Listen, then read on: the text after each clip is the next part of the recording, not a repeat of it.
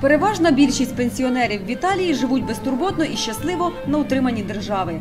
Люди похилого віку отримують високі пенсії, особливо ті італійці, які вийшли на пенсію ще до 2002 року, тобто ще до введення валюти євро. Тоді в країні діяла італійська ліра. Окрім високих виплат, італійські пенсіонери мають право на безкоштовну медицину.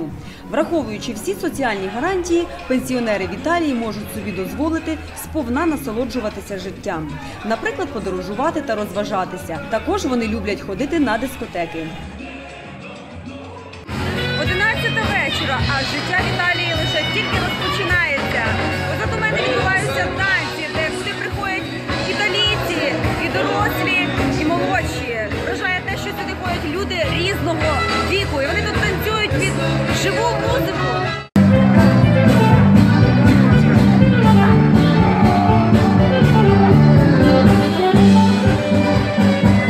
На дискотеці в місті Сенегалія пенсіонери танцюють і не абияк, а мало не професійно. Чоловіки та жінки у будні дні тижня відвідують заняття і вчаться парним та одиночним танцям. Ну а у вихідні дні вони приходять демонструвати свої вміння. Доменіко дуже вправний танцівник і вельми позитивна людина. Під час спілкування він веселиться та багато жартує, однак не зізнається, скільки має років.